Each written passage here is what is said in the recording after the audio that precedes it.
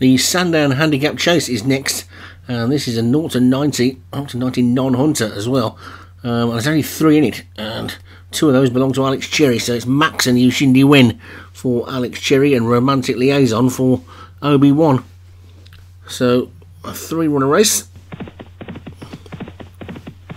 0 to 90 maybe just a little bit too low for chasers as they get off the hunter chases are 0 to 100 so quite one to be a 0 to 90 ordinary handicap I'm really not sure but anyway over it they go and hopefully this race will get put up to 110 next year which will make more sense as they get over to number 2 and get a few more in it although with the way the race has been going this year um, with a lot of horses being more con more consistent they get over to third and not that many horses have fallen under the 100 mark because so many have put in good performances with probably with the smaller fields, I suppose, that we've had this year with less trainers around. Uh, horses have been able to get into fourth, fifth, and sixth places where maybe they would normally have been in 14th, 15th, and 16th, and so the handicap marks haven't dropped as much as they would have done in previous years as they get over the railways, and that's basically left us without too many horses under the 100.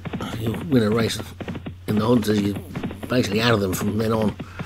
Had a couple early on in the season that won and never been able to get back in again. Uh, James Shea seems to have got it perfect this year, getting his to a low enough level before he put them in, and then they've managed to run up a sequence, a couple of them.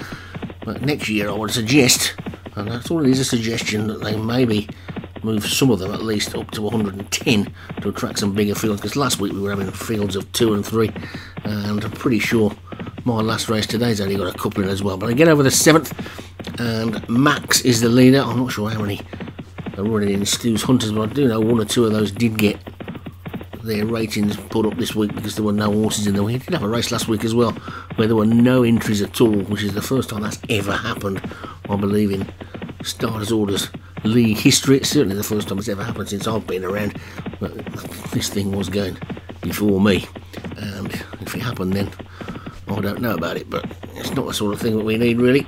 It's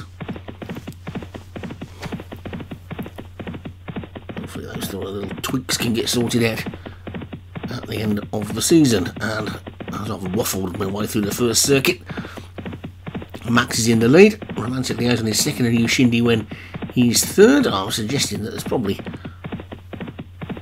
only Alex Cherry and Sirius One Obi Chill watching this.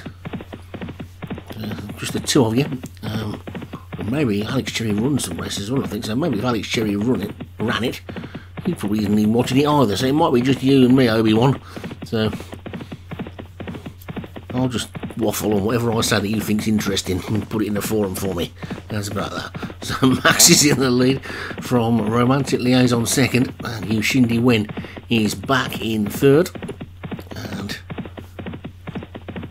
orders pretty much same. Also noticed in the forum today as well that Obi-Wan's had a few problems with some of his horses this week, not getting entered in the races. I think that's another thing we need to look at next season. Needs to have a little bit more uh, check on what's in and what's out because I had one that didn't get put in the other week as well. And it is pretty annoying when you've sat there with a pen and paper and a slide rule. Uh, you know, this next one, working out your entries, and then when the entries do come in, your horse isn't there.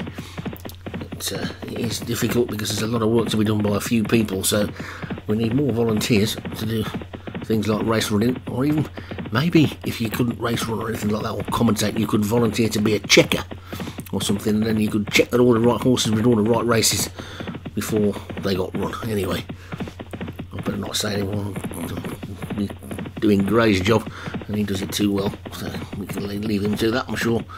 He'd be glad of any help though as they get over the 13th and over the 14th as well, and the 15th because it's the railways. And so Alex Cherry's pair of one and two. This is probably not the right race to congratulate Alex Cherry on his first season as being a national hunt handicapper when it's a three horse handicap race and he's only got, he's got two of the only three runners in it. Well, I'm sure that is purely coincidence. So he's done a really good job this year, and I'm not saying that just because I won the Grand National on the Whitbread either. But anyway, Max is in the lead and it looks to be going well enough to stay in the lead. To be a quick fire double for Alex Cherry, who took the last as well. Over he goes. a mistake by Romantic Liaison, so there's every possibility this is going to be a 1-2 for Alex Cherry now. And Max has got to get over the last couple of fences though. And he's being chased hard now by his stablemate and Yushindi Wen has actually taken it up. So Yushindi Wen's in the lead and Romantic Liaison is now coming through as well. So over the final fence they go and Yushindi Wen has gone away and he's going to take this I think running up the hill. Romantic Liaison has run into second and Max, won't have the race to a minute ago, because now ended up third. So up towards the line then, Yushindi Wen is the winner. Romantic Liaison second. Max was third, and that was the commentator does a load of waffling handicap chase from Sandown Park. And there it is.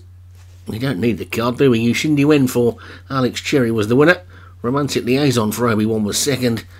And Max for Alex Cherry was third.